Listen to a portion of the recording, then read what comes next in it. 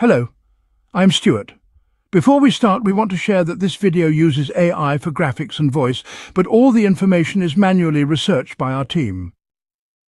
Here in the video, we are going to talk about Discord Error Code 2014. As per our research, the error comes when users try to stream or use their camera in Discord, but the connection fails to establish and the stream doesn't load.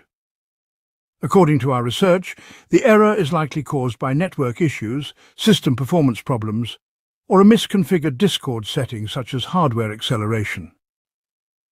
The first thing we suggest is to power cycle your device along with your internet connection. Simply shut down your device and router, then wait for a few minutes, then turn them back on and check if the error still comes.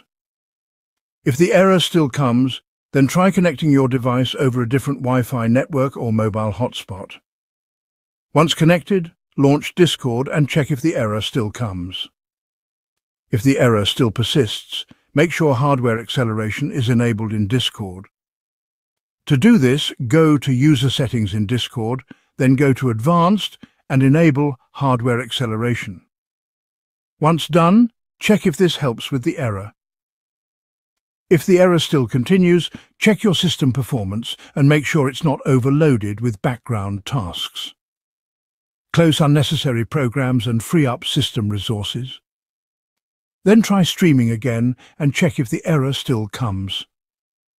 At last, if the error still persists, open Command Prompt as an administrator and run the command sfc slash scannow.